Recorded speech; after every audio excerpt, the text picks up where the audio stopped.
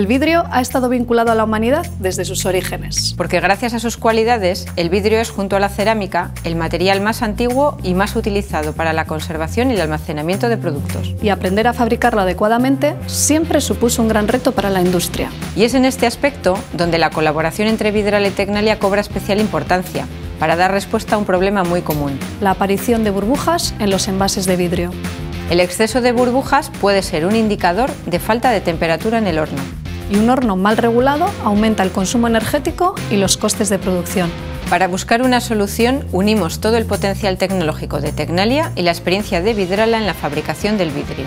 De esta manera conseguimos crear un sistema a medida para la detección de burbujas basado en el Deep Learning. Un sistema de inteligencia artificial que es capaz de diferenciar las burbujas de los grabados de las botellas u otros elementos constructivos en envases de diferentes formas, tamaños y colores.